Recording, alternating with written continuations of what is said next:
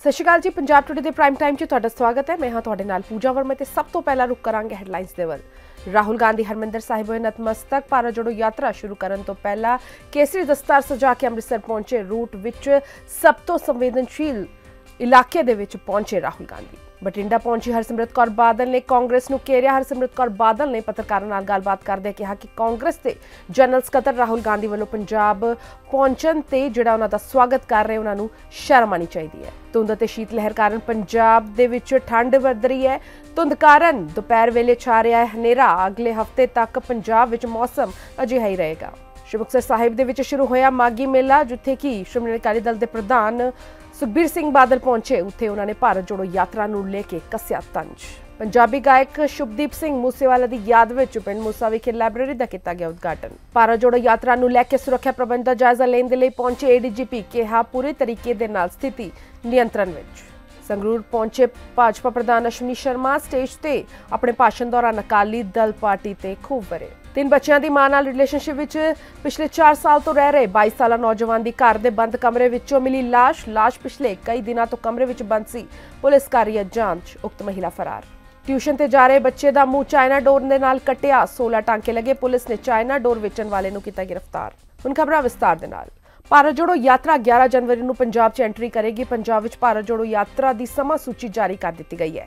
ਕਾਂਗਰਸ ਦੇ ਸੀਨੀਅਰ ਆਗੂ ਰਾਹੁਲ ਗਾਂਧੀ ਵੱਲੋਂ ਇਸ ਯਾਤਰਾ ਨੂੰ ਸ਼ੁਰੂ ਕਰਨ ਤੋਂ ਪਹਿਲਾਂ ਸ਼੍ਰੀ ਹਰਮੰਦਰ ਸਾਹਿਬ ਉਹ ਪਹੁੰਚੇ, ਉੱਥੇ ਉਹ ਨਤਮਸਤਕ ਹੋਏ। ਦੱਸ ਦਈਏ ਕਿ ਕੱਲ ਤੋਂ ਭਾਰਤ ਜੋੜੋ ਯਾਤਰਾ ਫਤਿਹਗੜ੍ਹ ਸਾਹਿਬ ਤੋਂ ਸ਼ੁਰੂ ਹੋਵੇਗੀ।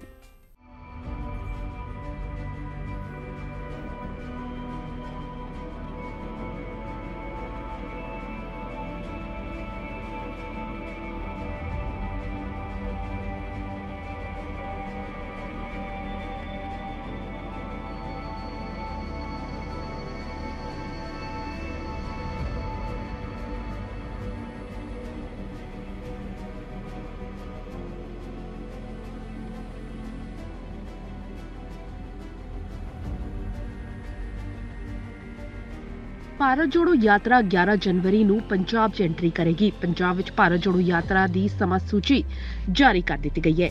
ਕਾਂਗਰਸ ਦੇ ਸੀਨੀਅਰ ਆਗੂ ਰਾਹੁਲ ਗਾਂਧੀ ਪਿਛਲੇ ਸਮੇਂ ਤੋਂ ਸ਼ੁਰੂ ਕੀਤੀ ਭਾਰਤ ਜੋੜੋ ਯਾਤਰਾ ਨੂੰ ਪੰਜਾਬ ਵਿੱਚ ਸ਼ੁਰੂ ਕਰਨ ਤੋਂ ਪਹਿਲਾਂ ਅੱਜ ਸੱਚਖੰਡ ਸ੍ਰੀ ਹਰਮੰਦਰ ਸਾਹਿਬ ਨਤਮਸਤਕ ਹੋਣ ਦੇ ਲਈ ਪਹੁੰਚ ਗਏ।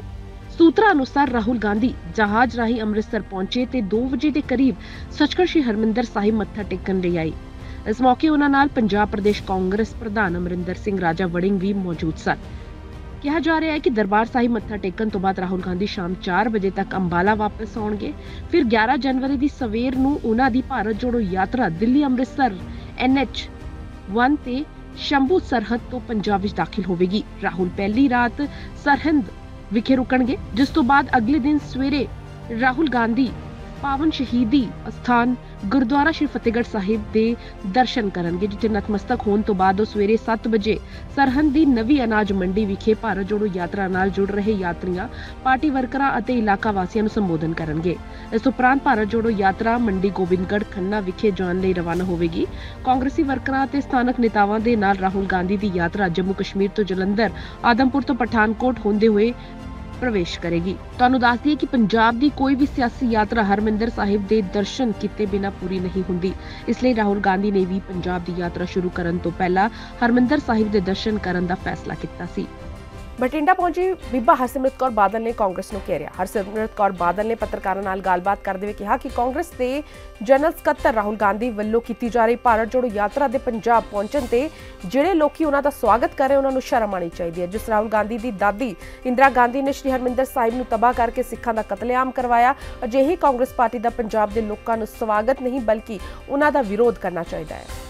ਬਠਿੰਡਾ ਪਹੁੰਚੀ ਹਰਸਿਮਰਤ ਕੌਰ ਬਾਦਲ ਨੇ ਕਾਂਗਰਸ ਨੂੰ ਘੇਰਿਆ। ਹਰਸਿਮਰਤ ਕੌਰ ਬਾਦਲ ਨੇ ਪੱਤਰਕਾਰਾਂ ਤੋਂ ਗੱਲਬਾਤ ਕਰਦੇ ਹੋਏ ਕਿਹਾ ਕਿ ਕਾਂਗਰਸ ਦੇ ਜਨਰਲ ਸੈਕਟਰੀ ਰਾਹੁਲ ਗਾਂਧੀ ਵੱਲੋਂ ਭਾਰਤ ਜੋੜੋ ਯਾਤਰਾ ਦੇ ਪੰਜਾਬ ਪਹੁੰਚਣ ਤੇ ਜਿਹੜੇ ਲੋਕੀ ਉਸ ਦਾ ਸਵਾਗਤ ਕਰ ਰਹੇ, ਉਹਨਾਂ ਨੂੰ ਸ਼ਰਮ ਆਣੀ ਚਾਹੀਦੀ ਹੈ। ਜਿਸ ਰਾਹੁਲ ਗਾਂਧੀ ਦੀ ਦਾਦੀ ਇੰਦਰਾ ਗਾਂਧੀ ਨੇ ਸ਼੍ਰੀ ਹਰਮਿੰਦਰ ਸਾਹਿਬ ਨੂੰ ਤਬਾਹ ਕਰਕੇ ਸਿੱਖਾਂ ਦਾ ਕਤਲੇਆਮ ਕਰਵਾਇਆ, ਅਜਿਹੀ ਕਾਂਗਰਸੀ ਪਾਰਟੀ ਦਾ ਪੰਜਾਬ ਦੇ ਲੋਕਾਂ ਨੂੰ ਸਵਾਗਤ ਨਹੀਂ ਕਰਨਾ ਚਾਹੀਦਾ, ਬਲਕਿ ਵਿਰੋਧ ਕਰਨਾ ਚਾਹੀਦਾ। ਉਹਨਾਂ ਨੂੰ ਕਾਲੇ ਝੰਡੇ ਦਿਖਾਣੇ ਚਾਹੀਦੀ ਹੈ।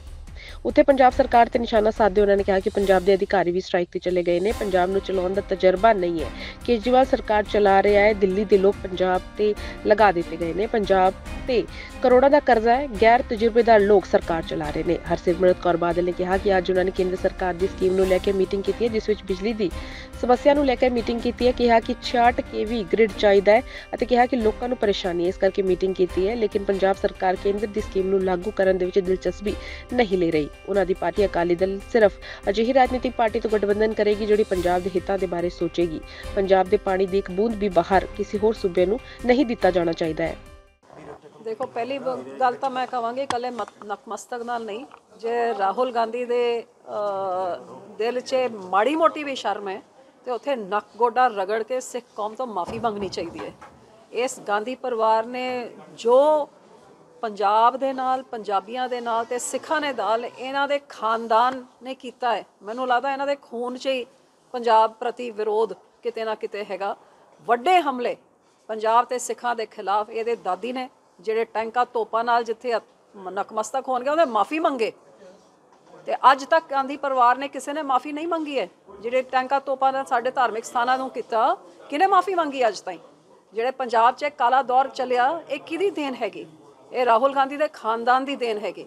ਇਹਦੇ ਪਿਓ ਨੇ ਹਜ਼ਾਰਾਂ ਸਿੱਖਾਂ ਦੇ ਕਿਤਲੇਆਮ ਬੇਰਹਿਮੀ ਦੇ ਨਾਲ ਜਦ ਵੱਡਾ ਪੇੜ ਡਿੱਗਦਾ ਤੇ ਧਰਤੀ ਹਿਲਦੀ ਹੈ ਇੱਕ ਮੁੱਖ ਮੰਤਰੀ ਹੋਣ ਦੇ ਨਾਤੇ ਤਿੰਨ ਦਿਨ ਫੌਜ ਨਹੀਂ ਬੁਲਾਈ ਸੀਗੀ। ਮੈਂ ਦਿੱਲੀ 'ਚ ਮੈਨੂੰ ਆਪ ਪਤਾ ਸਾਡੀ ਜਾਨ ਆ ਕਿਵੇਂ ਬਚੀਆਂ ਮੈਂ ਕੈਂਪਾਂ ਤੇ ਮੈਂ ਕੰਮ ਕੀਤੇ, ਮੈਂ ਦੇਖਾ ਲੋਕਾਂ ਦੇ ਹਾਲਤ ਕੀ ਹੋਏ, ਕਿਵੇਂ ਔਰਤਾਂ ਦੀ ਇੱਜ਼ਤਾਂ ਲੁੱਟੀਆਂ ਗਈਆਂ।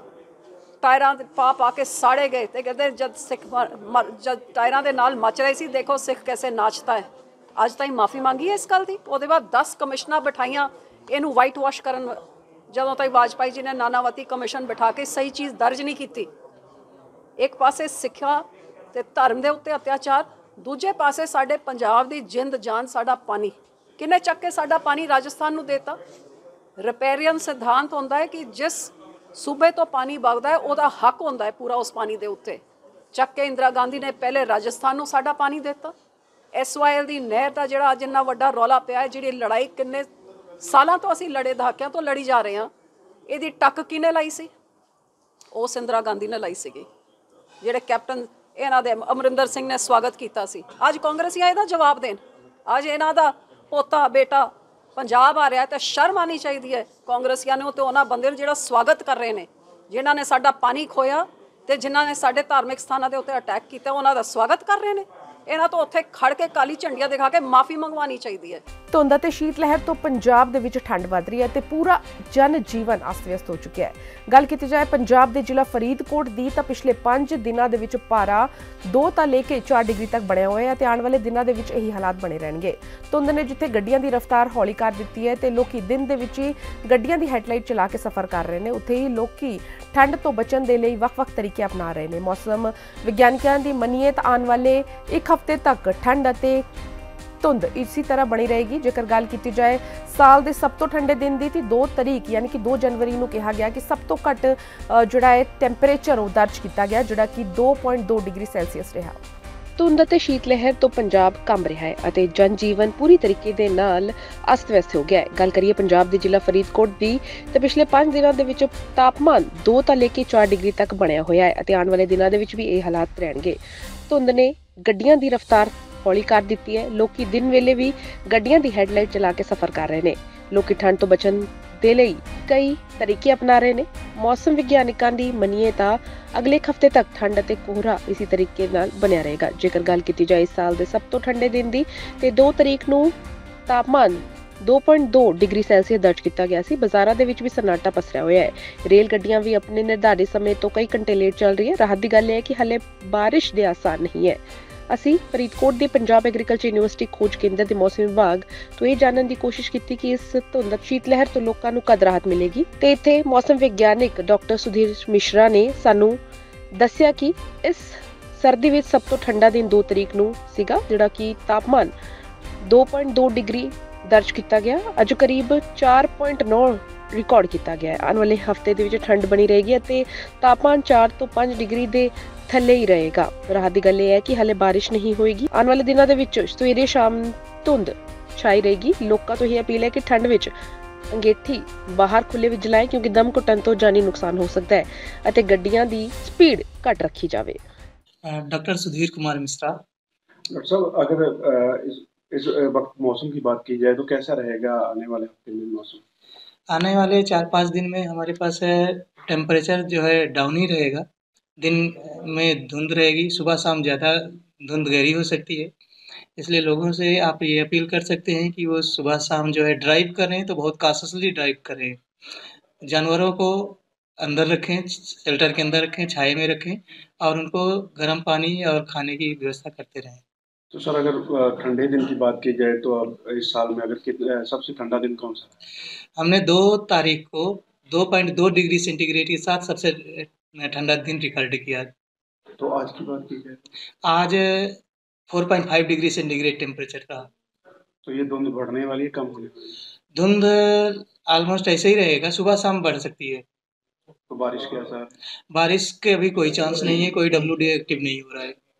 तो अगर बात की जाए जो ये अभी धुंध है लोगों को कैसे अपील करेंगे जो लोग एक ही जला लेते हैं?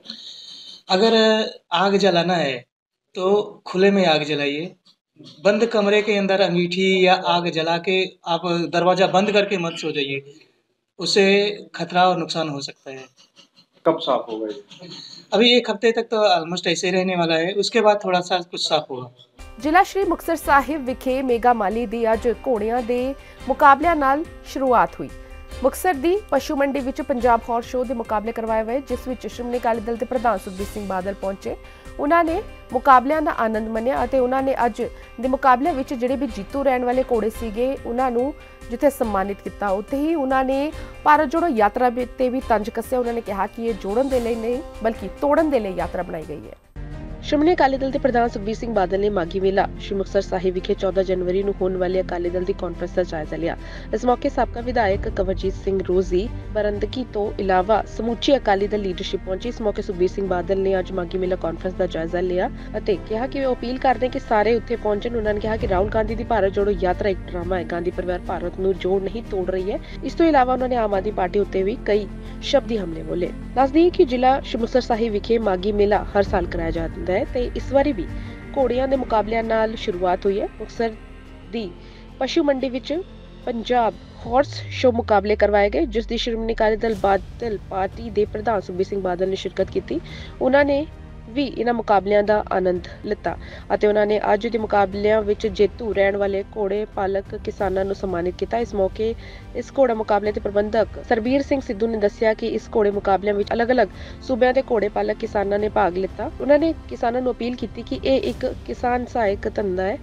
ਉਹਨਾਂ ਨੇ ਨੌਜਵਾਨਾਂ ਨੂੰ ਅਪੀਲ ਕੀਤੀ ਕਿ ਉਹ ਨਸ਼ਿਆਂ ਵਿੱਚੋਂ ਨਿਕਲ ਕੇ ਸਹਾਇਕ ਧੰਦਿਆਂ ਵੱਲ ਜ਼ਰੂਰ ਜੁੜਨ। ਜਾਇਜ਼ਾ ਲੈਣ ਵਾਸਤੇ ਆਇਆ ਤੇ ਵਰਕਰਾਂ ਨਾਲ ਸਾਡੀ ਰੈਗੂਲਰ ਮੀਟਿੰਗ ਚੱਲ ਰਹੀ ਹੈ। ਬਹੁਤ ਉਤਸ਼ਾਹ ਲੋਕਾਂ ਵਿੱਚ ਹੈਗਾ।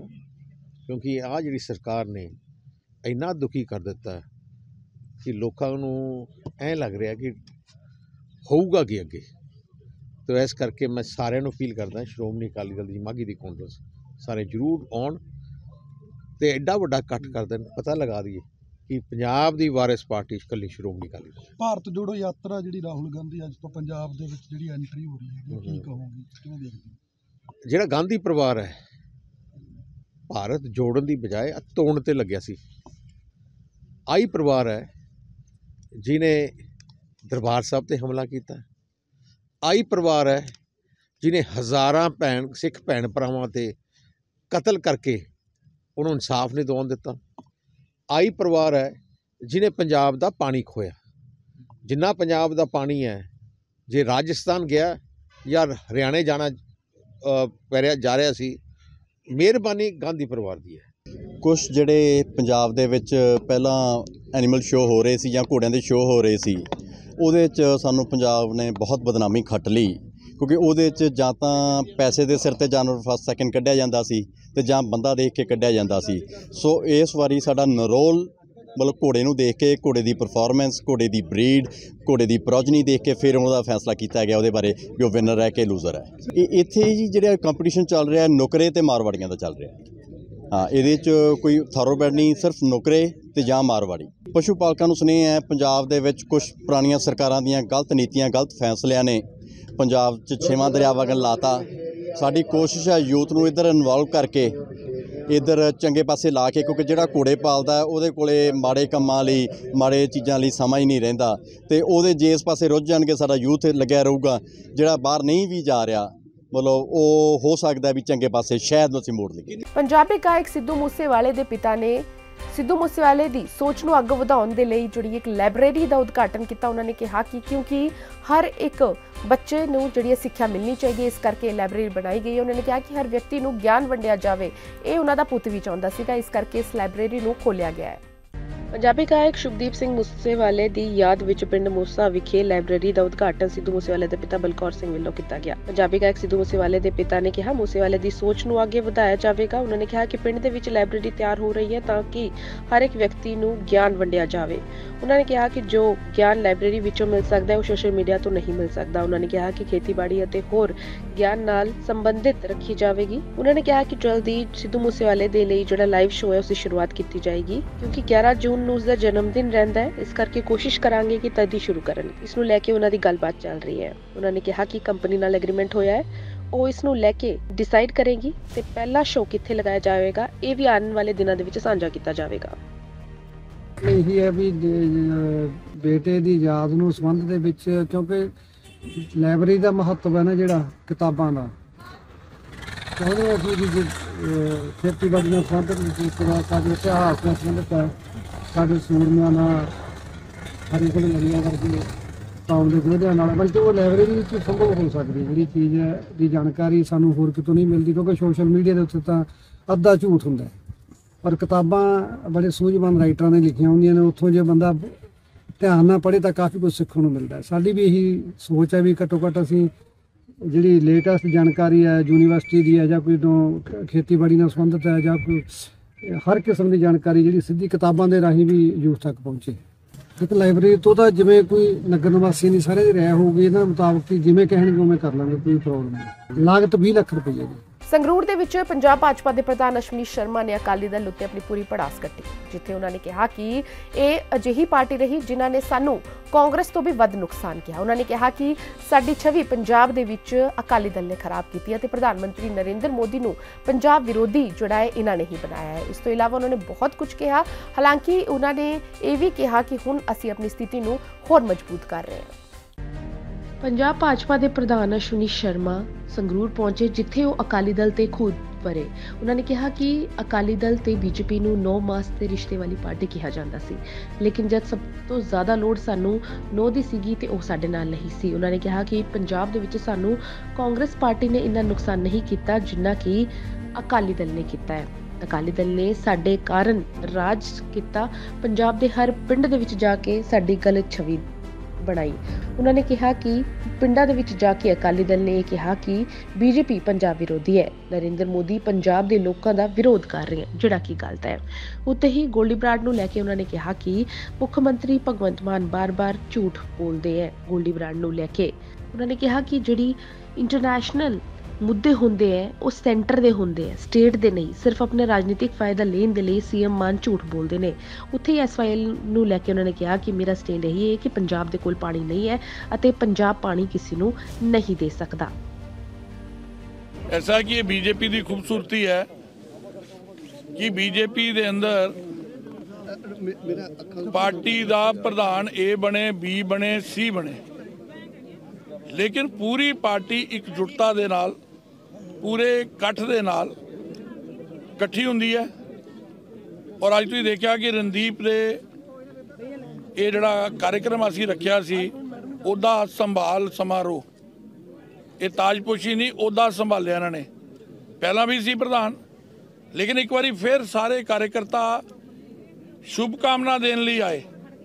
ਔਰ ਇਹ ਯਕੀਨ ਦਿਲਾਉਣ ਲਈ ਆਏ ਕਿ ਪ੍ਰਧਾਨ ਜੀ, ਜਿਹੜਾ ਤੁਹਾਨੂੰ ਪਾਰਟੀ ਨੇ ਜ਼ਿੰਮੇਵਾਰੀ ਦਿੱਤੀ ਹੈ ਸਾਰੀ ਪਾਰਟੀ ਸਾਰੇ ਕਰਤਾ ਤੁਹਾਡੇ ਨਾਲ ਨੇ, ਤੁਸੀਂ ਪਾਰਟੀ ਲਈ ਕੰਮ ਕਰੋ। ਪਰ ਮੈਨੂੰ ਇੱਕ ਗੱਲ ਦੀ ਬੜੀ ਖੁਸ਼ੀ ਹੋਈ, ਜਿੱਡੀ ਭਾਰੀ ਸੰਖਿਆ ਦੇ ਅੰਦਰ ਸੰਗਰੂਰ ਦਾ ਇਹ ਸਮਾਗਮ ਹੋਇਆ, ਸਰਦੀਆਂ ਦਾ ਦਿਨ ਨੇ। ਇਹ ਸਾਡਾ ਜਿਹੜਾ ਇੱਥੋਂ ਦਾ ਨੇਤਰਤਵ ਹੈ, ਵਿਸ਼ੇਸ਼ ਕਰ ਅਰਵਿੰਦ ਖੰਨਾ ਜੀ, ਜਿਹੜੇ ਕਿ ਇੱਥੋਂ ਦੀ ਵਿਧਾਇਕ ਰਹੇ ਨੇ, ਉਹਨਾਂ ਦੇ ਨਾਲ ਲੋਕਾਂ ਦਾ ਕਿੰਨਾ ਪਿਆਰ ਹੈ। ਢਿੱਲੋਂ ਸਾਹਿਬ ਜਿਹੜਾ ਨੇ ਪਾਰਲੀਮੈਂਟ ਚੁਣਾਵ ਲੜਿਆ ਪੂਨੀਆ ਸਾਹਿਬ ਸਾਡੇ, ਨੈਨੋਵਾਲ ਸਾਹਿਬ। ਇਹ ਸਭ ਲੋਕ ਔਰ ਸਾਡੀ ਪਾਰਟੀ ਦੇ ਇਸ ਸਮਾਰੋਹ ਚ ਨੌਲੱਖਾ ਜੀ ਵੀ ਆਏ, ਚੀਮਾ ਜੀ ਵੀ ਆਏ। ਔਰ ਰਣਦੀਪ ਨੂੰ ਅੱਜ ਇਹ ਉਹਦਾ ਸੌਂਪਿਆ ਹੈ ਔਰ ਮੈਨੂੰ ਲੱਗਦਾ ਕਿ ਇਹਦੇ ਨਾਲ ਪਾਰਟੀ ਮਜ਼ਬੂਤ ਹੋਏਗੀ। ਉਹਦੇ ਪਿੱਛੇ ਇੱਕ ਕਾਰਨ ਹੈ। ਪੰਜਾਬ ਅੱਜ ਰਾਮ ਭਰੋਸੇ ਹੈ। ਪੰਜਾਬ ਦੇ ਅੰਦਰ ਕਾਨੂੰਨ ਦਾ ਰਾਜ ਨਹੀਂ ਹੈ, ਜੰਗਲ ਰਾਜ ਹੈ। ਪੰਜਾਬ ਦੇ ਅੰਦਰ ਗੈਂਗਸਟਰ ਰਾਜ ਹੈ। ਪੰਜਾਬ ਦੇ ਅੰਦਰ ਫਰੋਤੀਆਂ ਮੰਗਣ ਵਾਲਿਆਂ ਦਾ ਰਾਜ ਹੈ। ਪੰਜਾਬ ਦੇ ਅੰਦਰ ਦਿਨ ਦਿਹਾੜੇ ਹੱਤਿਆ ਕਰਨ ਵਾਲਿਆਂ ਦਾ ਰਾਜ ਹੈ। ਔਰ ਕੱਲ ਤੇ ਹੱਦ ਹੋ ਗਈ। ਲੁਟੇਰਿਆਂ ਕੋਲ ਗਨਸ ਕਿੱਥੋਂ ਆ ਰਹੀਆਂ? ਪੁਲਿਸ ਦੇ ਮੁਲਾਜ਼ਮ ਦੀ ਸ਼ਹੀਦ ਹੋ ਜਾਂਦਾ। ਜੇ ਪੁਲਿਸ ਸੁਰੱਖਿਅਤ ਨਹੀਂ ਹੈ, ਆਮ ਪੰਜਾਬੀ ਇਸ ਸਰਕਾਰ 'ਚ ਆਪਣੇ ਆਪ ਨੂੰ ਸੁਰੱਖਿਅਤ ਕਿੱਦਾਂ ਮੰਨੇਗਾ? ਲੇਕਿਨ ਮਾਨ ਹੈ ਕਿ ਉਹਦੇ ਕੰਨ ਤੇ ਜੂੰ ਨਹੀਂ ਰੱਖਦੀ ਮੈਨੂੰ ਲੱਗਦਾ ਉਹਨੂੰ ਅਹਿਸਾਸ ਹੀ ਨਹੀਂ ਹੈ ਕਿ ਉਹ ਮੁੱਖ ਮੰਤਰੀ ਹੈ। ਬਚਕਾਨੇ ਬਿਆਨ ਆਣਗੇ ਉਹਨਾਂ ਦੇ। ਉਹਨਾਂ ਦਾ ਕੱਲ ਫਿਰ ਬਿਆਨ ਆ ਜਾਣਾ। ਕਿ ਸਥਿਤੀ ਕੰਟਰੋਲ 'ਚ ਹੈ ਦੇ ਗੁਰੂ ਨਗਰ ਇਲਾਕੇ ਵਿੱਚ ਉਸ ਵੇਲੇ ਸਨਸਨੀ ਫੈਲ ਗਈ, ਜਦ ਤਿੰਨ ਬੱਚਿਆਂ ਦੀ ਮਾਂ ਨਾਲ ਸੰਬੰਧ ਤੋੜ ਕੇ ਕਿਰਾਏ ਤੇ ਰਹਿ ਰਹੇ 22 ਸਾਲਾ ਨੌਜਵਾਨ ਦੀ ਭੇਤ ਹਾਲਾਤਾਂ ਦੇ ਵਿੱਚ ਮੌਤ ਹੋ ਗਈ। ਪੁਲਿਸ ਨੇ ਮੌਕੇ ਤੇ ਪਹੁੰਚ ਕੇ ਘਰ ਦੇ ਦਰਵਾਜ਼ੇ ਦਾ ਤਾਲਾ ਤੋੜ ਕੇ ਨੌਜਵਾਨ ਦੀ ਲਾਸ਼ ਬਾਹਰ ਕੱਢ ਕੇ ਉਸ ਨੂੰ ਪੋਸਟਮਾਰਟਮ ਦੇ ਲਈ ਭੇਜਿਆ। ਦੱਸਿਆ ਜਾ ਰਿਹਾ ਹੈ ਕਿ ਨੌਜਵਾਨ ਦੀ ਮੌਤ 10 ਤੋਂ 15 ਦਿਨ ਪਹਿਲਾਂ ਹੋ ਗਈ ਸੀਗੀ। ਹਾਲਾਂਕਿ ਜਿਹੜੀ ਮਹਿਲਾ ਉਸ ਦੇ ਨਾਲ ਰਹਿ ਰਹੀ ਸੀ, ਉਹ ਫਰਾਰ ਦੱਸੀ ਜਾ ਰਹੀ ਹੈ। ਲਬਟਾਲਾ ਦੇ ਗੁਰੂ ਨਾਨਕ ਨਗਰ ਇਲਾਕੇ ਵਿੱਚ ਉਸ ਵੇਲੇ ਸਨਸਨੀ ਫੈਲ ਗਈ ਜਦ ਤਿੰਨ ਬੱਚਿਆਂ ਦੀ ਮਾਂ ਨਾਲ ਸੰਬੰਧ ਤੋੜ ਕੇ ਕਿਰਾਏ ਤੇ ਰਹਿ ਰਹੇ 22 ਸਾਲਾ ਨੌਜਵਾਨ ਦੀ ਭੇਤ ਭਰੇ ਹਾਲਾਤਾਂ ਦੇ ਵਿੱਚ ਮੌਤ ਹੋ ਗਈ। ਪੁਲਿਸ ਨੇ ਮੌਕੇ ਤੇ ਪਹੁੰਚ ਕੇ ਘਰ ਦੇ ਦਰਵਾਜ਼ੇ ਦਾ ਤਾਲਾ ਤੋੜ ਕੇ ਨੌਜਵਾਨ ਦੀ ਲਾਸ਼ ਬਾਹਰ ਕੱਢ ਕੇ ਉਸ ਨੂੰ ਪੋਸਟਮਾਰਟਮ ਦੇ ਲਈ ਭੇਜਿਆ ਅਤੇ ਅਗਲੀ ਜਾਂਚ ਸ਼ੁਰੂ ਕਰ ਦਿੱਤੀ। ਮ੍ਰਿਤਕ ਲਾਸ਼ ਵਿੱਚ ਕੀੜੇ ਪੈ ਚੁੱਕੇ ਸੀ। ਜਿਸ ਤੋਂ ਬਾਅਦ ਇਹ ਸਾਫ਼ ਨਜ਼ਰ ਆ ਰਿਹਾ ਹੈ ਕਿ ਲਾਸ਼ 10 ਤੋਂ 15 ਦਿਨ ਪੁਰਾਣੀ ਹੋ ਚੁੱਕੀ ਹੈ।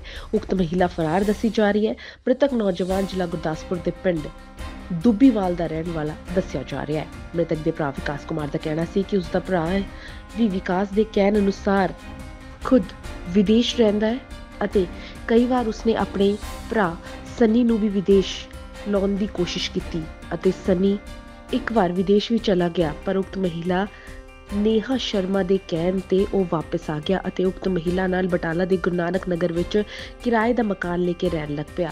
ਉਹਨਾਂ ਨੇ ਕਿਹਾ ਕਿ ਅਸੀਂ ਆਪਣੇ ਭਰਾ ਸੰਨੀ ਨੂੰ ਬਹੁਤ ਸਮਝਾਇਆ, ਪਰ ਉਸਨੇ ਸਾਡੀ ਇੱਕ ਵੀ ਨਹੀਂ ਮੰਨੀ ਅਤੇ ਉਕਤ ਮਹਿਲਾ ਨੇਹਾ ਸ਼ਰਮਾ ਨਾਲ ਪਿਛਲੇ 4 ਸਾਲਾਂ ਤੋਂ ਰਹਿਣ ਲੱਗ ਪਿਆ ਅਤੇ ਅੱਜ ਉਕਤ ਮਹਿਲਾ ਦਾ ਸਾਨੂੰ ਫੋਨ ਆਇਆ ਕਿ ਮੈਂ ਕੁਝ ਦਿਨਾਂ ਤੋਂ ਦੂਸਰੇ ਸ਼ਹਿਰ ਆਈ ਹਾਂ ਅਤੇ ਅੱਜ ਸਨੀ ਮੇਰਾ ਫੋਨ ਨਹੀਂ ਚੁੱਕ ਰਿਹਾ। ਤੁਸੀਂ ਜਾ ਕੇ ਦੇਖੋ ਅਤੇ ਜਦੋਂ ਅਸੀਂ ਬਟਾਲਾ ਆ ਕੇ ਉਕਤ ਮਕਾਨ ਵਿੱਚ ਦੇਖਿਆ ਤਾਂ ਮਕਾਨ ਚਾਰੇ ਪਾਸੋਂ ਤੋਂ ਬੰਦ ਸੀ ਅਤੇ ਇੱਕ ਸ਼ੀਸ਼ੇ ਜ਼ਰੀਏ ਨਜ਼ਰ ਆਇਆ ਕਿ ਸਾਡੇ ਭਰਾ ਸੰਨੀ ਦੀ ਮ੍ਰਿਤਕ ਦੇ ਬੈੱਡ ਤੇ ਪਈ ਹੋਈ ਹੈ। ਤਾਂ ਫਿਰ ਅਸੀਂ ਪੁਲਿਸ ਦੀ ਮਦਦ ਨਾਲ ਮਕਾਨ ਦੇ ਤਾਲੇ ਤੋੜ ਕੇ ਭਰਾ ਦੇ ਮ੍ਰਿਤਕ ਦੇਹ ਨੂੰ ਪੋਸਟਮਾਰਟਮ ਲਈ ਸਿਵਲ ਹਸਪਤਾਲ ਬਟਾਲਾ ਭੇਜਿਆ। ਉਹਨਾਂ ਨੇ ਕਿਹਾ ਕਿ ਉਹਨਾਂ ਨੂੰ ਇਨਸਾਫ ਚਾਹੀਦਾ ਹੈ। ਬਟਾਲਾ ਦੀ ਘਟਨਾ ਦੀ ਇਤਲਾ ਮਿਲਦੇ ਹੀ ਮੌਕੇ ਤੇ ਪਹੁੰਚੇ ਐਸਐਚਓ ਕੁਲਵੰਤ ਸਿੰਘ ਨੇ ਘਟਨਾ ਬਾਰੇ ਦੱਸਦੇ ਹੋਏ ਕਿਹਾ ਕਿ ਜਾਂਚ ਕੀਤੀ ਜਾ ਰਹੀ ਹੈ ਤੇ ਬਿਆਨਾਂ ਦੇ ਆਧਾਰ ਤੇ ਅਗਲੀ ਕਾਨੂੰਨੀ ਕਾਰਵਾਈ ਕੀਤੀ ਜਾਏਗੀ। ਮੇਰਾ ਨਾਮ ਵਿਕਾਸ ਕੁਮਾਰ ਹੈ ਜੀ। ਵਿਕਾਸ ਕੀ ਗੱਲ ਹੋਈ ਤੇ ਕੀ ਲੱਗਦੇ ਨੇ ਤੁਹਾਡੇ? ਗੱਲ ਇਦਾਂ ਹੈ ਕਿ ਮੇਰਾ ਇਹ ਭਰਾ ਵਾ ਛੋਟਾ। ਮੈਂ ਇਹ ਤੋਂ ਵੱਡਾ ਮੈਂ ਬਾਹਰ ਰਹਿਣਾ ਦੁਬਈ। ਤੇ ਮੈਂ ਛੁੱਟੀ ਕੱਟਣ ਆਇਆ ਤੇ ਮੈਨੂੰ ਪਹਿਲਾਂ 1 ਮਹੀਨਾ ਪਹਿਲਾਂ ਇਹ ਮਿਲਿਆ। ਠੀਕ ਹੈ ਜੀ। ਉਸ ਤੋਂ ਬਾਅਦ ਇਹ ਸਾਨੂੰ ਮਿਲਿਆ, ਇੱਕ ਮਹੀਨਾ ਪਹਿਲਾਂ। ਠੀਕ ਹੈ ਉਸ ਤੋਂ ਬਾਅਦ ਅੱਜ ਜਿਹੜੀ ਜਨਾਨੀ ਨਾਲ ਇਹ ਰਹਿੰਦਾ ਵਾ, ਉਹ ਜਨਾਨੀ ਦਾ ਫੋਨ ਆਇਆ, ਉਹ ਵੀ ਮੇਰੇ ਛੋਟੇ ਬ੍ਰਦਰ ਨੂੰ ਆਇਆ, ਉਹ ਇੱਕ ਮੋਟਰਸਾਈਕਲ ਵਾਲੀ ਦੁਕਾਨ ਤੇ ਕੰਮ ਕਰਦਾ। ਤੇ ਉਸ ਤੋਂ ਬਾਅਦ ਜੀ ਸਾਨੂੰ ਥੋੜਾ ਜਿਹਾ ਸ਼ੱਕ ਹੋਇਆ, ਉਹ ਕਹਿੰਦੇ ਕਿ ਮੇਰੇ ਨਾਲ ਲੜ ਕੇ ਗਿਆ। ਉਸ ਤੋਂ ਬਾਅਦ ਸਾਨੂੰ ਥੋੜਾ ਜਿਹਾ ਸ਼ੱਕ ਹੋਇਆ, ਮੈਂ ਤੇ ਦੋਵੇਂ, ਅਸੀਂ ਛੋਟਾ ਤੇ ਮੈਂ, ਆਪਾਂ ਇਹਨੂੰ ਉਸੇ ਵੇਲੇ ਲੱਭਣਾ ਸ਼ੁਰੂ ਕਰਦਾ ਠੀਕ ਹੈ ਤੇ ਜਿੱਥੇ ਇਹ ਕਿਰਾਏ ਤੇ ਰਹਿੰਦਾ ਸੀ ਗੁਰੂ ਨਾਨਕ ਨਗਰ, ਉਸ ਤੋਂ ਬਾਅਦ ਅਸੀਂ ਉੱਥੇ ਰੂਮ 'ਚ ਆ ਕੇ ਦੇਖਿਆ ਤੇ ਡੋਰ ਬੰਦ ਸੀਗਾ ਅੰਦਰਲਾ, ਸਾਰੇ ਚੈੱਕ ਕੀਤੇ ਡੋਰ ਡੋਰ ਸਾਰੇ ਬੰਦ ਸੀਗੇ। ਠੀਕ ਹੈ ਜੀ, ਫਿਰ ਸਾਨੂੰ ਇੱਕ ਸ਼ੀਸ਼ੇ ਦੇ ਵਿੱਚੋਂ ਦੀ ਅਸੀਂ ਇਹਨੂੰ ਦੇਖਿਆ, ਅੰਦਰ ਲੰਮੇ ਡੈੱਡ ਬੋਡੀ ਪਈ ਸੀਗੀ ਉਹਦੀ। ਉਸ ਤੋਂ ਬਾਅਦ ਆਪਾਂ ਪੁਲਿਸ ਵਾਲਿਆਂ ਨੂੰ ਨਾਲ ਲੈ ਕੇ ਤੇ ਉਸ ਤੋਂ ਬਾਅਦ ਅਸੀਂ ਜਾਂਚ ਸ਼ੁਰੂ ਕੀਤੀ। ਸ਼ੱਕ ਸਿਰਫ ਸਾਨੂੰ ਉਹ- ਜਨਾਨੀ ਦੇ ਸ਼ੱਕ ਆ। ਜਿਹਦੇ ਨਾਲ ਰਹਿੰਦੇ ਜਿਹਦੇ ਨਾਲ ਰਹਿੰਦਾ ਵਾ ਉਹਨੂੰ 20 20 ਤਰੀਕ ਦੀ ਇਹਦੇ ਨਾਲ ਲੜ ਕੇ ਗਈ ਆ। ਉਸ ਤੋਂ ਬਾਅਦ ਉਹ ਜਨਾਨੀ ਨੇ ਸਾਨੂੰ ਆਪ ਫੋਨ ਕਰਕੇ ਦੱਸਿਆ ਕਿ ਜਾ ਕੇ ਉਹਨੂੰ ਦੇਖੋ ਉੱਥੇ ਹੈਗਾ। ਉਹ ਨੇਹਾ ਸ਼ਰਮਾ। ਉਹਦੇ ਨਾਲ ਘੱਟੋ ਘੱਟ 4 ਸਾਲ ਤੋਂ ਰਹਿੰਦਾ ਸੀ। ਠੀਕ ਆ? ਆਪਾਂ ਇਹਨੂੰ ਬਹੁਤ ਰੋਕਿਆ ਬਹੁਤ ਟੋਕਿਆ। ਮੇਰੇ ਪਾਪਾ ਨੇ ਇਹਦੇ ਪੈਰੀ ਹੱਥ ਵੀ ਲਾਇਆ ਇਹ ਨਹੀਂ ਮੁੜਿਆ। ਇਹਨੂੰ ਮੈਂ ਬਾਹਰ ਵੀ ਲੈ ਕੇ ਗਿਆ, ਇਸ ਜਨਾਨੀ ਨੇ ਇਹਨੂੰ ਬਾਹਰੋਂ ਵੀ ਸੱਦ ਲਿਆ। ਠੀਕ ਹੈ ਜੀ। ਹੁਣ ਉਸ ਤੋਂ ਬਾਅਦ ਸਾਨੂੰ ਅੱਜ ਨੇ ਅੱਜ ਫੋਨ ਕੀਤਾ। ਅੱਜ ਫੋਨ ਕਰਕੇ ਅਸੀਂ ਇਹਨੂੰ ਲੱਭਣਾ ਸ਼ੁਰੂ ਕੀਤਾ। ਠੀਕ ਹੈ ਜੀ, ਆਪਾਂ ਸਿੱਧਾ ਹੀ ਜਿੱਥੇ ਕਿਰਾਏ ਤੇ ਰਹਿੰਦਾ ਉੱਥੇ ਆਏ ਆ ਆ ਕੇ ਤੇ ਦੇਖਿਆ ਤੇ ਅੱਗੇ ਬੋਡੀ ਪਈ। ਆ ਫੋਨ ਆਇਆ ਇੱਕ ਕਿ ਘਰ ਹੈ, ਇੱਕ ਆਪਣੇ ਗੁਰੂ ਨਾਨਕ ਕਲੋਨੀ ਚ ਤੇ ਇੱਕ ਡੱਡ ਬੋੜੀ ਪਈ ਹੈ, ਉੱਥੇ ਆਏ ਆ ਤੇ ਮੁੰਡਾ ਹੈ ਸੰਨੀ, ਸਾਨੂੰ ਨਿੰਦਰਪਾਲ ਵਾਸੀ ਦੇ। ਦੇ ਲੱਗਦਾ ਹੈ ਕਿ ਕਾਫੀ ਪੁਰਾਣੀ ਜਿੱਦਾਂ 10-15 ਦਿਨ ਦੀ ਕੋਈ ਬੋਡੀ ਹੈ ਤੇ ਫਿਲਹਾਲ ਅਸੀਂ ਉਹਨੂੰ ਭੇਜਤਾ ਸਿਵਲ ਹਸਪਤਾਲ ਬਾਕੀ ਜੋ ਉਹਨਾਂ ਸਟੇਟਮੈਂਟ ਹੋਣਗੇ ਜਾਂ ਪੋਸਟਮਾਰਟਮ ਤੋਂ ਬਾਅਦ ਜੋ ਹਾਲਾਤ ਹੋਣਗੇ, ਉਸ ਨਾਲ ਕਾਰਵਾਈ ਕਰਾਂਗੇ। ਸਰਕਾਰ ਨੇ ਖਤਰਨਾਕ ਚਾਈਨਾ ਡੋਰ ਵੇਚਣ ਤੇ ਸਖਤ ਪਾਬੰਦੀ ਲਗਾ ਰੱਖੀ ਹੈ, ਪਰ ਫਿਰ ਵੀ ਦੁਕਾਨਦਾਰ ਥੋੜੇ ਜਿਹੇ ਮੁਨਾਫੇ ਦੀ ਖਾਤਰ ਚਾਈਨਾ ਡੋਰ ਚੋਰੀ ਵਿਖੇ ਵੇਚਣ ਤੋਂ ਬਾਜ਼ ਨਹੀਂ ਆ ਰਹੇ। ਜਦੋਂ ਇਸ ਡੋਰ ਨਾਲ ਲੋਕੀ ਜ਼ਖਮੀ ਹੁੰਦੇ ਨਜ਼ਰ ਆਉਂਦੇ ਤਾਂ ਪੁਲਿਸ ਵੀ ਕਾਰਵਾਈ ਕਰਦੀ ਹੈ। ਅਜਿਹਾ ਇੱਕ ਮਾਮਲਾ ਸਾਹਮਣੇ ਆਇਆ ਹੈ। ਜ਼ਿਲ੍ਹੇ ਦੇ ਬਲਾਕ ਕਾਨੂੰਵਾਨ ਅਧੀਨ ਪੈਂਦੇ ਪਿੰਡ ਬਾਗੜੀਆਂ ਵਿਖੇ, ਜਿੱਥੇ ਟਿਊਸ਼ਨ ਤੇ ਜਾ ਰਹੇ ਬੱਚੇ ਦੇ ਮੂੰਹ ਵਿੱਚ ਚਾਈਨਾ ਡੋਰ ਫਸ ਜਾਣ ਕਾਰਨ ਬੱਚੇ ਦਾ ਮੂੰਹ ਕੱਟਿਆ ਗਿਆ। ਜ਼ਖਮੀ ਬੱਚੇ ਦੇ ਮੂੰਹ ਤੇ 16 ਟਾਂਕੇ ਲਗਾਉਣੇ ਪਏ ਅਤੇ ਸ਼ਿਕਾਇਤ ਮਿਲਣ ਤੋਂ ਬਾਅਦ ਪੁਲਿਸ ਨੇ ਕਸਬੇ ਅੰਦਰ ਡੋਰ ਵੇਚਣ ਵਾਲੇ ਦੁਕਾਨਦਾਰਾਂ ਨੂੰ ਗ੍ਰਿਫਤਾਰ ਕੀਤਾ ਹੈ।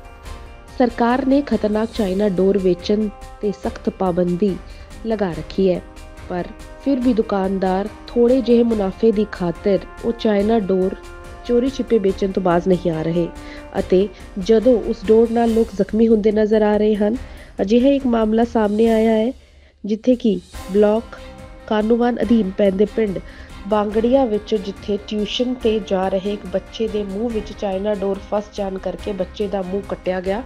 ਜ਼ਖਮੀ ਬੱਚੇ ਦੇ ਮੂੰਹ ਤੇ 16 ਟਾਂਕੇ ਲਗਾਉਣੇ ਪਏ। ਸ਼ਿਕਾਇਤ ਮਿਲਣ ਤੇ ਪੁਲਿਸ ਨੇ ਕਸਬੇ ਅੰਦਰ ਡੋਰ ਵੇਚਣ ਵਾਲੇ ਦੁਕਾਨਦਾਰਾਂ ਨੂੰ ਗ੍ਰਿਫਤਾਰ ਕੀਤਾ। ਜ਼ਖਮੀ ਬੱਚੇ ਦੇ ਪਰਿਵਾਰਕ ਮੈਂਬਰਾਂ ਦਾ ਕਹਿਣਾ ਸੀ ਕਿ ਸਰਕਾਰ ਨੇ ਚਾਈਨਾ ਡੋਰ ਵੇਚਣ ਤੇ ਪਾਬੰਦੀ ਲਗਾ ਰੱਖੀ ਹੈ, ਲੇਕਿਨ ਫਿਰ ਵੀ ਡੋਰ ਵਿਕ ਰਹੀ ਹੈ ਅਤੇ ਇਸ ਡੋਰ ਦੇ ਇਸਤੇਮਾਲ ਨਾਲ ਰਾਹ ਜਾਂਦੇ ਲੋਕੀ ਜ਼ਖਮੀ ਹੋ ਰਹੇ ਹਨ ਤੇ ਕੁਛਾਂ ਦੀ ਤਾਂ ਜਾਨ ਵੀ ਚਲੀ ਗਈ ਹੈ। ਉਹਨਾਂ ਨੇ ਕਿਹਾ ਕਿ ਸਾਡੇ ਬੱਚੇ ਨਵਜੋਤ ਨਾਲ ਵੀ ਕੁਝ ਅਜਿਹਾ ਹੋਇਆ। ਬੱਚਾ ਟਿਊਸ਼ਨ ਤੇ ਜਾ ਰਿਹਾ ਸੀ ਅਤੇ ਰਾਸਤੇ ਵਿੱਚ ਚਾਈਨਾ ਡੋਰ ਮੂੰਹ ਵਿੱਚ ਫਸਣ ਨਾਲ ਬੱਚੇ ਦਾ ਮੂੰਹ ਦੋਵਾਂ ਤਰਫੋਂ ਕੱਟ ਗਿਆ ਅਤੇ ਬੱਚੇ ਦੇ ਜ਼ਖਮ ਨੂੰ ਠੀਕ ਕਰਨ ਦੇ ਲਈ 16 ਟਾਂਕੇ ਲਗਾਉਣੇ ਪਏ। ਉਹਨਾਂ ਨੇ ਕਿਹਾ ਕਿ ਚਾਈਨਾ ਡੋਰ ਨੂੰ ਬੰਦ ਕਰਨ ਦੇ ਲਈ ਸਖਤੀ ਨਾਲ ਕਦਮ ਚੁੱਕਣੇ ਪੈਣੇ। ਉਤੇ ਹੀ ਥਾਣਾ ਪੈਣੀ ਮੀਆਂ ਖਾਨ ਦੇ ਐਸਐਚਓ ਸੁਦੇਸ਼ ਕੁਮਾਰ ਨੇ ਘਟਨਾ ਬਾਰੇ ਦੱਸਦੇ ਹੋਏ ਕਿਹਾ ਕਿ ਜੋ ਬੱਚਾ ਪਤੰਗ ਉਡਾ ਰਿਹਾ ਸੀ ਉਸ ਦੀ ਡੋਰ ਨਾਲ ਨਵਜੋਤ ਜ਼ਖਮੀ ਹੋ ਗਿਆ। ਉਸ ਪਤੰਗ ਉਡਾਉਣ ਵਾਲੇ ਬੱਚੇ ਕੋਲੋਂ ਪੁੱਛਗਿੱਛ ਕਰਕੇ ਡੋਰ ਵੇਚਣ ਵਾਲੇ ਦੁਕਾਨਦਾਰ ਦੀ ਦੁਕਾਨ ਤੇ ਛਾਪੇਮਾਰੀ ਕੀਤੀ ਗਈ ਅਤੇ ਸਖਤੀ ਨਾਲ ਪੁੱਛਗਿੱਛ ਕੀਤੀ ਗਈ ਤਾਂ ਉਸ ਦੁਕਾਨਦਾਰ ਕੋਲੋਂ 16 ਗੱਟੂ ਚਾਈਨਾ ਡੋਰ ਬਰਾਮਦ ਕੀਤੇ ਗਏ। ਉਸ ਉੱਤੇ ਕੇਸ ਦਰਜ ਕਰਕੇ ਉਸ ਨੂੰ ਗ੍ਰਿਫਤਾਰ ਕਰ ਲਿੱਤਾ ਗਿਆ ਹੈ। ਸਾਡੇ ਥਾਣੇ ਦੇ ਵਿੱਚ ਇੱਕ ਨੋਟਿਸ ਆਇਆ ਸੀ ਵੀ ਨਵਰਾਜ ਸਿੰਘ ਪੁੱਤਰ ਹਰਜਿੰਦਰ ਸਿੰਘ ਵਾਸੀ ਨਵੀਆਂ ਬਾਗੜੀਆਂ ਜਿਹੜਾ ਕਿ ਮੋਟਰਸਾਈਕਲ ਤੇ ਜਾ ਰਿਹਾ ਸੀ ਪਿੰਡ ਆਲਮਾ ਦੇ ਨੇੜੇ ਉਹਦੇ ਮੂੰਹ ਦੇ ਵਿੱਚ ਜਿਹੜੀ ਸੀ ਚਾਈਨਾ ਡੋਰ ਫਿਰਨ ਕਾਰਨ ਉਹਦੇ ਮਤਲਬ ਜ਼ਖਮੀ ਹੋ ਗਿਆ ਸੀਗਾ। ਇਹਦੇ ਸਬੰਧ ਵਿੱਚ ਅਸੀਂ ਤੁਰੰਤ ਕਾਰਵਾਈ ਕਰਕੇ ਪਿੰਡ ਆਲਮਾ ਪੁੱਜ ਕੇ ਤਸਦੀਕ ਕੀਤਾ ਸੀ ਵੀ ਇਹ ਕੌਣ ਪਤੰਗ ਚੜਾ ਰਿਹਾ ਸੀਗਾ। ਜਦੋਂ ਆਪਾਂ ਨੂੰ ਅਹ, ਪਤਾ ਲੱਗਾ ਤੇ ਇੱਕ ਲੜਕਾ ਛੋਟਾ ਪਤੰਗ ਚਲਾ ਰਿਹਾ ਸੀ ਜਿਹਨੂੰ ਅਸੀਂ ਉਹਨੂੰ ਪੁੱਛ ਪੜਤਾਲ ਕੀਤੀ ਜਿਹਨੇ ਦੱਸਿਆ ਵੀ ਮੈਂ ਇਹ ਡੋਰ ਜਿਹੜੀ ਆ ਸੰਦੀਪ ਸਿੰਘ ਪੁੱਤਰ ਬਲਵੰਤ ਸਿੰਘ ਵਾਸੀ ਭੈਣੀ ਮੈਂ ਖਾਲ ਨੂੰ ਖਰੀਦ ਕੇ ਲਿਆਂਦੀ ਆ। ਜਦੋਂ ਅਸੀਂ ਦੁਬਾਰਾ ਉਹਦੀ ਦੁਕਾਨ ਤੇ ਰੇਡ ਕੀਤਾ ਤੇ ਉਹਨੂੰ ਸਖਤੀ ਨਾਲ ਪੁੱਛ ਕੀਤੀ ਤੇ ਉਹਦੇ ਘਰ ਦੇ ਅੰਦਰੋਂ 16 ਗੱਟੂ ਚਾਈਨਾ ਡੋਰ ਜਿਹੜੇ ਕਿ ਪੰਜਾਬ ਸਰਕਾਰ ਵੱਲੋਂ ਬਿਲਕੁਲ ਮਨਾਹੀ ਕੀਤੀ ਗਈ ਹੈ ਬਰਾਮਦ ਕੀਤੇ ਗਏ। ਜਿਹਦੇ ਸੰਬੰਧ ਵਿੱਚ ਮੁਕੱਦਮਾ ਨੰਬਰ 3 ਮਿਤੀ 8123 ਜੁਰਮ 188 ਆਈਪੀਸੀ ਥਾਣਾ ਭੈਣੀ ਮੇਖਾਂ ਦਰਜ ਰਜਿਸਟਰ ਕਰਕੇ ਦੋਸ਼ੀ ਨੂੰ ਕੱਲ ਗ੍ਰਿਫਤਾਰ ਕਰ ਲਿਆ ਸੀ। ਸਰ ਕੀ ਨਾਮ ਉਹਦਾ ਦੋਸ਼ੀ ਦੇ ਦੋਸ਼ੀ ਦਾ ਨਾਮ ਸੰਦੀਪ ਸਿੰਘ ਪੁੱਤਰ ਬਲਵੰਤ ਸਿੰਘ। ਕਾਦੀ ਦੁਕਾਨ ਕਰਦਾ ਸੀ? ਉਹ ਮਨਿਆਰੀ ਦੀ ਦੁਕਾਨ ਕਰਦਾ ਤੇ ਮਨਿਆਰੀ ਦੀ ਦੁਕਾਨ ਦੇ ਆੜ ਦੇ ਵਿੱਚ ਜਿਹੜਾ ਸੀਗਾ ਇਹ ਚਾਈਨਾ ਡੋਰ ਵੇਚ ਰਿਹਾ ਸੀ ਪਰ ਇਹ ਚਾਈਨਾ ਡੋਰ ਉਹਨੇ ਆਪਣੇ ਦੁਕਾਨ 'ਚ ਨਹੀਂ ਆਪਣੇ ਘਰ ਰੱਖੀ ਹੋਈ ਸੀ। ਬੇਟਾ ਟਿਊਸ਼ਨ ਪੜਨ ਜਾ ਰਿਹਾ ਸੀ ਆਲਮਾ ਪਿੰਡ 'ਚ ਤੋਂ ਬੱਚੇ ਪਤੰਗ ਚੜਾ ਰਹੇ ਸੀ। ਇੱਥੇ ਆ ਮੂੰਹ 'ਚ ਫਸ ਗਈ ਡੋਰ। ਚਾਈਨਾ ਡੋਰ। ਚਾਈਨਾ ਡੋਰ। ਉਹਨੇ ਇੱਥੇ ਤੱਕ ਜਿਹੜਾ ਨਾ ਪੂਰਾ ਕੱਟ ਲਾਤਾ ਅੰਦਰ ਤੱਕ। ਤੋਂ ਇੱਕ ਬਨੇ ਤੇ ਸਰਕਾਰ ਨੇ ਸਖਤ ਇਹ ਤੇ ਪਾਬੰਦੀ ਲਾਈ ਹੋਆ ਹੈ ਤੇ ਉਹ ਸਰਕਾਰ ਦਾ ਆਪਣਾ ਕੰਮ ਆ ਸਾਡਾ ਆਪਣਾ ਕੰਮ ਆ। ਮਾਂ ਪਿਓ ਦਾ ਵੀ ਇਹ ਫਰਜ਼ ਬਣਦਾ ਸਭ ਤੋਂ ਵੱਧ ਉਹਨਾਂ ਦੀ ਜ਼ਿੰਮੇਵਾਰੀ ਜੇ ਬੱਚੇ ਲੈ ਕੇ ਆਉਂਦੇ ਡੋਰ ਤੇ ਘਰੇ ਲੈ ਕੇ ਆਉਂਦੇ। ਕੱਲਾ ਆਪਾਂ ਪ੍ਰਸ਼ਾਸਨ ਤੇ ਦੋਸ਼ ਨਾ ਦਈਏ। ਜੇਕਰ ਇਹਨੂੰ ਮਾਮਲੇ ਨੂੰ ਹਾਈਲਾਈਟ ਕਰਨ ਦੇ ਬਾਵਜੂਦ ਥਾਂ ਥਾਂ ਜਿੱਦਾਂ ਵੱਡ ਟੱਪ ਹੋਣ ਡਈ ਆ ਪ੍ਰਸ਼ਾਸਨ ਅਮਲ ਨਹੀਂ ਕਰਦਾ ਫਿਰ ਤੇ ਇਹਨਾਂ ਦਾ ਵੀ ਘਰਾਓ ਕਰਾਂਗੇ। ਠੀਕ ਹੈ। ਵਰਨਾ ਪਹਿਲਾਂ ਰਲ ਕੇ ਸਾਰੇ ਸਹਿਯੋਗ ਤੇ ਦੀ ਇਹਦੇ ਤੋਂ ਪਹਿਲਾਂ ਕਿੰਨੇ ਦੀਵੇ ਬੁਝ ਚੁੱਕੇ ਆ ਚਾਈਨਾ ਦੀ ਡੋਰ ਦੀ ਵਜ੍ਹਾ ਕਰਕੇ। ਆਪਾਂ ਨਹੀਂ ਕੋਈ ਬੋਲੇ। ਨਾ ਮਾਂ ਪਿਓ ਵੀ ਬੋਲਿਆ ਨਾ ਸਰਕਾਰ ਵੱਲੋਂ ਕੋਈ ਸਖਤ ਕਦਮ ਨਹੀਂ ਚੁੱਕਿਆ ਗਿਆ। ਤੋ ਸਰਕਾਰ ਵੀ ਜਿੱਦਾਂ ਪੁਰਾਣੀ ਕਹਾਵਤ ਆ ਮਾਂ ਵੀ ਤਦੇ ਦੁੱਧ ਦਿੰਦੀ ਜਦੋਂ ਬੱਚਾ ਚੀਕਾ ਮਾਰਦਾ। ਹੁਣ ਇਹ ਕਈ ਘਰਾਂ 'ਚ ਵੈਣ ਪੈ ਚੁੱਕੇ ਆ ਡੋਰ ਦੀ ਵਜ੍ਹਾ ਕਰਕੇ। ਹੁਣ ਤੱਕ ਦੇ ਲਈ ਇੰਨਾ ਹੀ। ਤੁਸੀਂ ਬਨੇ ਰਹੋ ਪੰਜਾਬ ਟੁਡੇ ਦੇ ਨਾਲ। ਸਤਿ ਸ਼੍ਰੀ ਅਕਾਲ।